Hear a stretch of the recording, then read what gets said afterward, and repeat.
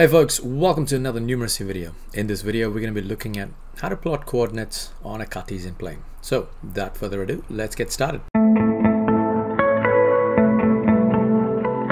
Alright, so getting started with the Cartesian plane. I guess the first thing we kind of need to know is that um, what we've got here is two sets of lines. The first is looking at this yellow line here. Now this yellow line is uh, known as the x-axis. It's also known as the horizontal axis. So that's just something to keep in mind. And then we've got this green line here. I can never get this highlighted part right. That's going to be your uh, y-axis and which is sometimes known as the vertical axis as well. So when it comes to plotting points, what we want to uh, know is that um, when you get given a coordinate, you actually get given two values. The first value is always going to be on the x-axis. And then the second value is going to be along the y-axis. So if we look at point A, point A says, right now I'm just going to write it bigger here. So point A is 0, 3. So that means we're going to go along the x-axis, which is at 0. Um, and then on the y-axis, we're going to go to 3. So this point right here is going to be A. Now let's have a look at point B. Now point B is negative 4 and 1.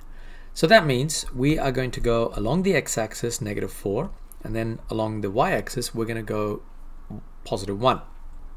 So negative 4 it is starting from 0 0 which is the center and I want to go to negative 4 which is 1 2 3 4 there it is Let's get rid of that. So negative 4, and then I want to go to positive 1 along the y-axis. So this point right here, which is negative 4 along the x-axis, and positive 1 along the y-axis. So point B is going to be negative 4 and 1. Now if you look at point C, we've got 5 and negative 2. Now 5 is going to go along the x-axis, and the negative 2 is going to go along the y-axis. So 5 and negative 2, I'm looking at this point right here. That's going to be C.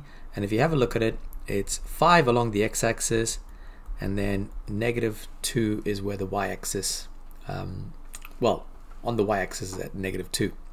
And finally, looking at uh, question D, uh, not question, point D.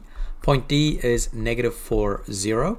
So along the x-axis, we're going to go negative 4, and along the y-axis, we're actually going to go 0. So if that's the case, uh, negative 4 and 0 is going to be right there, which we're going to call it point D.